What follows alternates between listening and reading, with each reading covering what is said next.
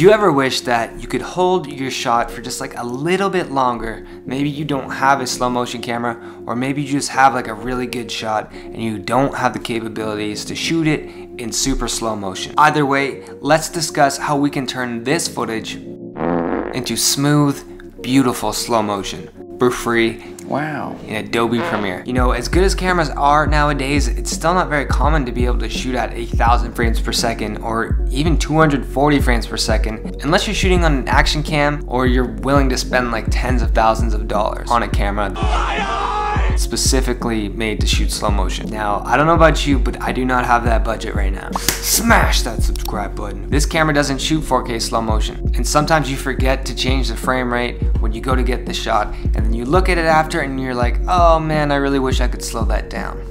So my friend introduced me to this effect a couple of months ago and it was just one of those like aha moments, you know, just you're so happy and then you also realize like ah, I just spent like the last two or three years not knowing about this and all of my other footage could have been slowed down and looked a little better.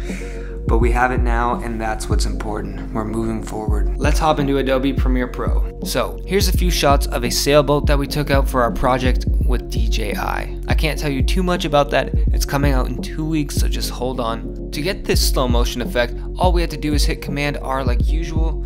We'll put it down to 50% and we will hit OK. Beautiful. Now you might think I'm trolling you, this time I'm not. We might have just missed one little detail there.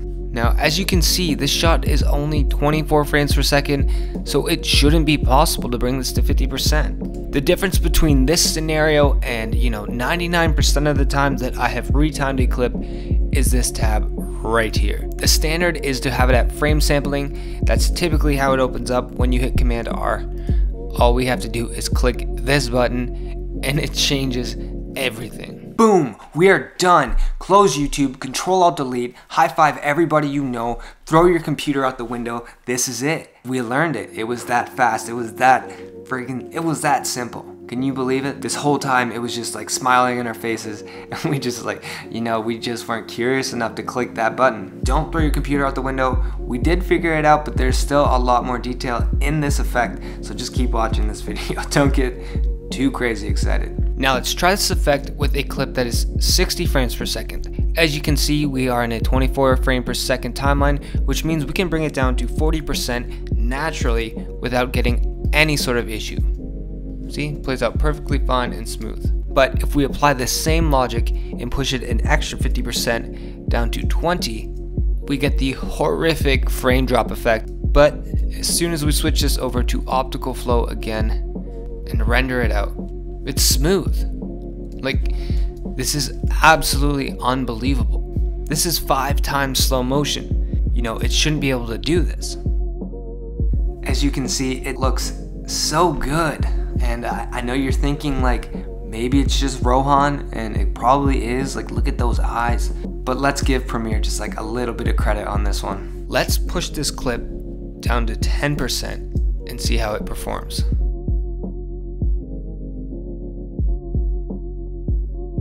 Wow. Let's get a little bit crazy now. Let's go completely mad and push it to 5%. Look at this. This is insane. 5%. This should only go down to 40%. This is absolutely insane. Now, I must warn you, this is not always going to work 100% of the time. I will not give you your money back. There's no money back guarantee on this one. But let me give you some tips to give you the very best odds and chance of success. The base frame rate of your shot. I know this one's a little bit obvious, but the higher frame rate has a better chance of success. So we have a 60 frame per second clip here, and that's why we can push it down to 5%. If we go back to our 24 frame per second clip, you know, we can still push this one a little bit more, but because it has less frames to work with, it can only emulate so much. The lighting in your shot. Stabilization tools are based around what they can see and analyze in the frame. Trying to stabilize in low light with a bunch of grain is really difficult because there's a lot of flickering and confusion. Your background.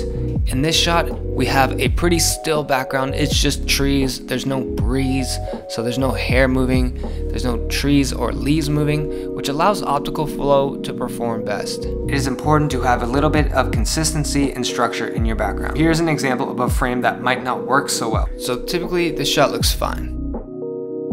But if we want to use optical flow and we want to slow it down a bit more, we have an issue due to the amount of movement in the frame. As you can see, there's some ghosting. The final thing to consider is the motion of the shot.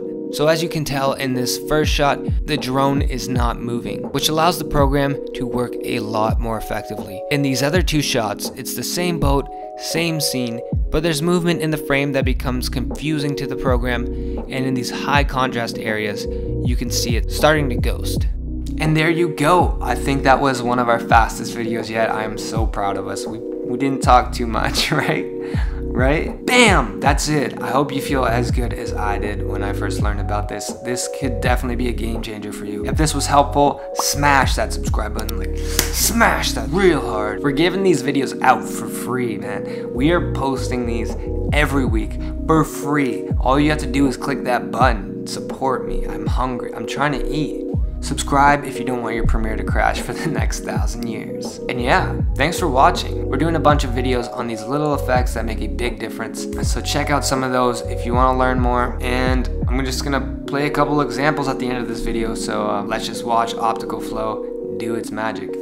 Thank you guys for watching. I will see you, um, what are we doing next week? Next tutorial, I'm gonna teach you how to eat fire.